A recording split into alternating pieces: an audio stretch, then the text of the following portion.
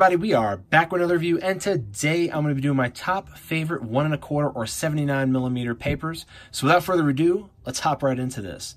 So first things first, we got the top series going on. It's a 10 day top series, basically a summary of everything that we've pretty much been reviewing on this channel thus far, and I'm just kind of telling you the things that I personally liked a lot, and personally things I didn't like at all. But today we're going to be looking at one and a quarter size papers, one and a quarter king size, single wide, or 70 millimeter. They're all different sizes and they all have different purposes. And I have particular favorites of each different variety, and that's why I kind of broke it down in the way the series is going. Now, again, this is going to be the top five that I actually keep in my smoking box that I use on a regular basis. So, first one is going to be definitely one you know of, and I talk about all the time. It's going to be the raw black paper.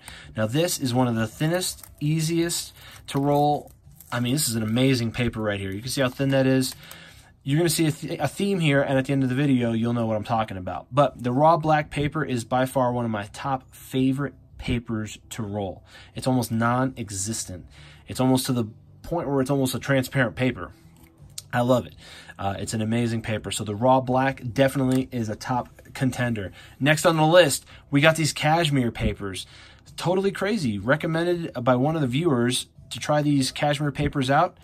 And lo and behold, it's one of my favorite papers. Love them. Uh, these papers right here are super thin, super easy burning papers. Burn nice and smooth, don't canoe. So these cashmere papers are definitely a good budget paper. And again, it's an awesome paper that I like to use and smoke with on a regular basis.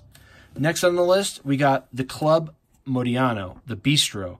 Now, the Bistro is an ungummed club paper. I particularly like an ungummed paper. I don't really get the option of having an ungummed paper, really. Um, and the fact this is a nice thin paper and it's ungummed is a win-win for me. This would probably be my top two favorite papers would be the Club and probably the Raw Black. But the ungummed Club Bistro is definitely that club paper that that surpasses basically all of them. Uh, I love the ungummed club paper. Next on the list is going to be the Zigzag Ultra Thin. Now, this is, an, again, you're going to be noticing the theme here. I love ultra thin papers. Ultra thin papers that have not so much as a full body to them. I like that. I like the, having the non existent feel to it. I don't like having a flavored paper, a heavy bodied paper. I like it to be a nice ultra thin paper, and the Zigzag provides that. Look at that. Nice ultra thin paper. I mean, it's almost as thin as all the other ones that we've just looked at, but the Zigzag Ultra Thin is definitely a favorite of mine. Last but not least is one that we just reviewed and is a new favorite of mine actually is the Smoking Deluxe paper. These Smoking Deluxe papers are amazing. Super thin, nice easy burn. Got some nice paper technology on the paper. We just did the review on this. I mean, they got badges up the yin yang in here.